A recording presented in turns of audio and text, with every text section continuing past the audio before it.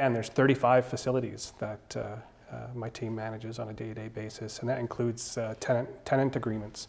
Um, so there's, there's never any shortage of uh, work to do for our particular department.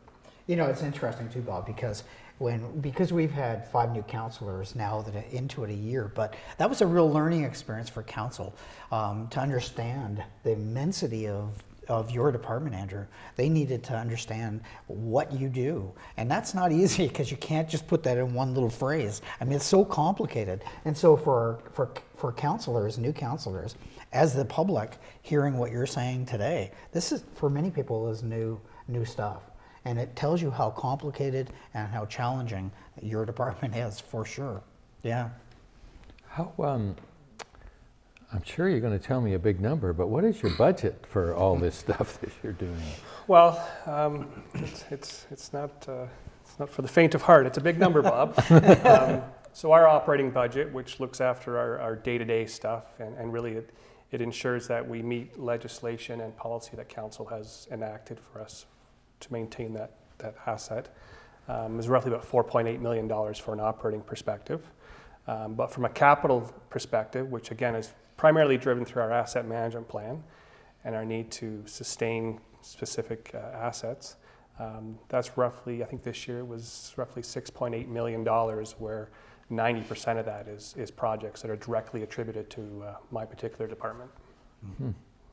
And I understand that um, you're trying some new things for road maintenance, for winter road maintenance, for sidewalks and roads to change maybe how you've done it in the past. I understand that this freeze thaw situations that we've gone through have created some big challenges and that you you have some solutions to make that a little better. Well, I don't think I have all the solutions, Bob, but uh, certainly uh, a step forward in the right direction.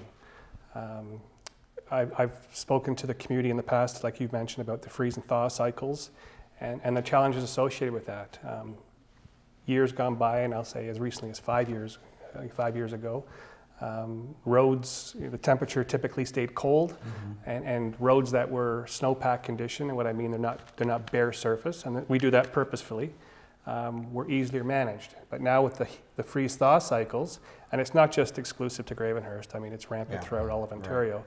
You start to get rutting and pockets, and those, those roads tend to become challenging to, to, to drive. So mm-hmm. we've, we've taken a step back, and in response to that, uh, we, we've trying some new products and uh, one of those products is a, is a treated product, so it, it adheres to the road better. Um, it's not as dependent on uh, uh, temperature cycles. It can work from uh, very low temperatures to very high temperatures. Um, and we're actually using less of it, so there's a bit of a cost savings there. So.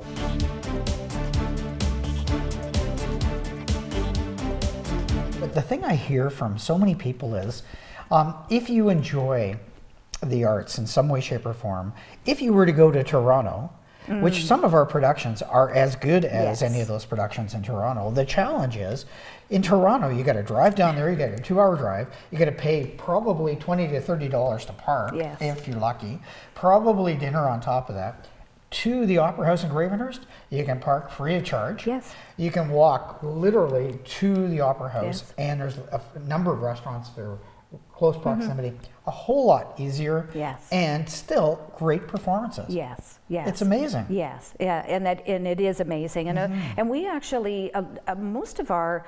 Um, our actors throughout the summer theater season can be seen in Mirvish Productions mm-hmm. or Stratford. Yeah. So, so we are, uh, you know, um, finding our talent from the same pool as, mm -hmm. as mm-hmm. those other festivals. So that, that yeah. is it is wonderful. And you're absolutely right for a fraction of the cost. And, yeah, and we exactly. like to say that it's um, park once and, uh, and you yeah. can do all of these things and certainly shopping in there as well. And if you talk to some of the shops downtown, they will tell you, we know when there's a matinee because okay. our store is full okay. before or after the show. So that's wonderful. Mm -hmm. We're mm-hmm. also building our group business too, mm -hmm. um, which is which is really, really important important to bring in those busloads of people as Yeah, well. yeah. And we're finding that they are asking for other things to do. And, and you know, yes, beyond uh, our packages that we have with the Muskoka steamships or hotels and, and restaurants and so on, they want to be able to get off the bus, see a show, maybe do some shopping. And, and those are all of the wonderful things that, uh, that people want to do. And we have so much to offer in Gravenhurst. Some of them now, even not only do they get off the bus, they get off the plane. oh, that's true. And Yes, that's you're kind of absolutely with right. the- with Yeah. other. Yes, very so yes, exciting. the Opera House does. I mean, they do live theater, they do Yes. concerts, they do tribute bands. Mm-hmm. Um, they even do weddings. I mean, I, uh, there, there- there's Probus that meets there. I mean, there, there's there, it, it's a great place. So, so my question. I've never been to an opera in the Opera House. I don't know there's ever been an opera performed in the Opera House. So why do we call it the Opera House? That is, that is a great question. and we don't want to say that we, we don't uh, ever want to do opera there because we have actually had a little bit of opera, uh, some fun opera that we um, that the Muskoka Concert Association presented to the high school. Um, but you're absolutely right. There really that was never really the intent of uh, building an opera house. Um, i- i- the reason why they were you know the same as the Orillia Opera House, it was named that because it was fashioned. The design of it was fashioned as the um, after the grand opera houses in Europe.